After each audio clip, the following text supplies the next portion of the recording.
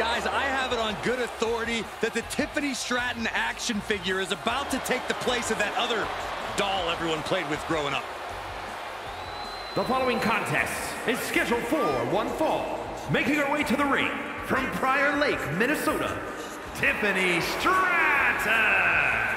Stratton is high class all the way, from her looks to her in-ring skills. Uh, more like overprivileged, spoiled brat. Bite your tongue, Saxton. Clearly a polarizing superstar.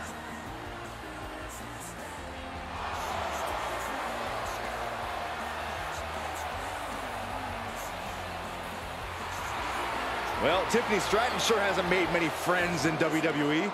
Who needs friends when you've got a bank account like she does? Yeah, Saxton.